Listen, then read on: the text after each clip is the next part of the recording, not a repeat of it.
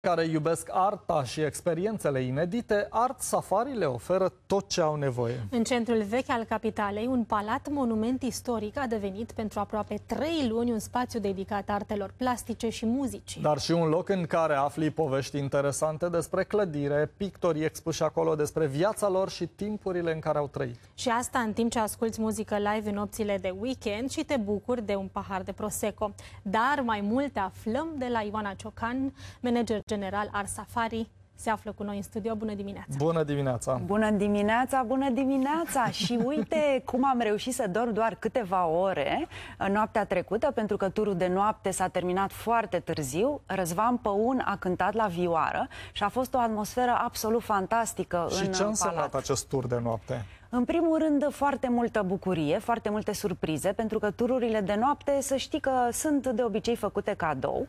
Ori uh, cuplurile încearcă să petreacă așa o seară interesantă și decid să ajungă la Art Safari sau, foarte interesant, am văzut uh, foarte mulți părinți care au primit cadou uh, de la copiii lor care tocmai au împlinit 20 de ani, deci părinți de vârsta mea, de 40 de ani, un cadou, o seară romantică la Art Safari. De ce frumos! Și ce văd? Uh, intră în spațiul nostru expozițional, sunt întâmpinați de muzică live, uh, fie că vorbim de K-pop, pentru că săptămâna viitoare o să fie săptămâna coreană, sau muzică clasică, cum a fost și este weekendul ăsta.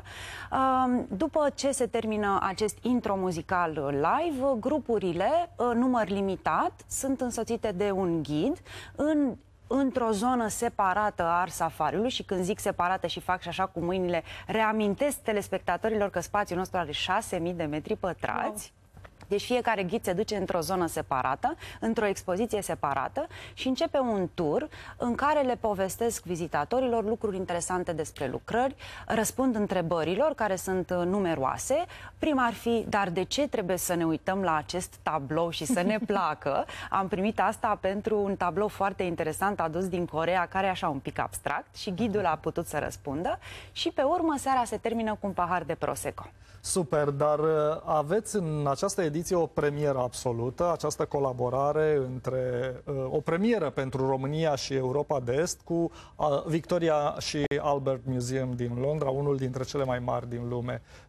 De ce nu ar trebui ratată această premieră, să spunem? În primul rând, nu s-a mai văzut în această zonă a Europei, așa cum bine ai zis, o expoziție atât de valoroasă și nu vorbesc doar de bani, dar și de operele rare expuse. Victoria în Albert a dat uh, României șansa de a-l vedea pe Grigorescu al englezilor, pe Constable, dar nu doar pe el, pentru că lucrările care vin sunt semnate și de Dürer, de Rembrandt, de Gainsborough, de Turner și alte nume ale artei universale. Uh, este o șansă să le vedem toate aici în Art Safari, uh, mai ales că Victoria în Albert a adus și niște lucrări din depozite care nu pot fi expuse din cauza fragilităților și aici vorbesc de o lucrare de Dürer din 1502. Sunt niște lucrări uh, prețioase cum vă asigurați de securitatea lor? În primul rând și pentru noi totul a fost un mare secret. Am vrut să filmăm uh, traseul uh, rutier pe care aceste lucrări uh, l-au făcut din Marea Britanie, de la Londra până la București, dar din păcate, credeți-mă că nu a fost poate? ca în filmele americane. am avut traseu 1, traseu 2, traseu 3, traseu 4 și nu am știut oare o să vină prin Croația, oare o să vină prin Ungaria, pe unde ajung în România aceste tablouri.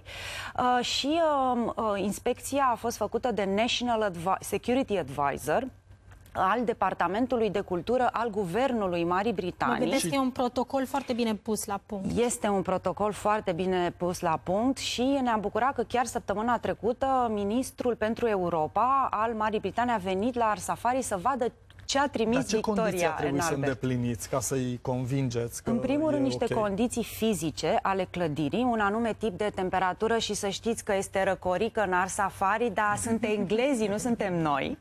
Uh, condiții speciale în interior condiții care au de-a face cu distanța pe care oamenii pot să, o, uh, pot să stea față de lucrări, uh, securitatea care se vede, adică camere, securitate care nu se vede, camerele ascunse, sistemele pe care au lucrările de prindere uh, fizică în, în perete, deci practic trebuie să pleci cu tot peretele ca să poți să iei o, o lucrare și mai ales pază umană. Mai avem puțin, câteva secunde cât mai au timp oamenii să vină să vadă lucrările? Foarte puțin, mai ales că suntem închiși luni, marți, miercuri de fiecare dată. Deci avem încă 8 calupuri de joi până duminică să venim în centrul capitalei, în Palatul Dacia România și să vedem 5 expoziții și mai ales să-i ascultăm pe ghizi spunând lucruri foarte interesante despre operele de artă. Mulțumim Ioana mult, Ciocan, Ioana. mulțumim foarte mult!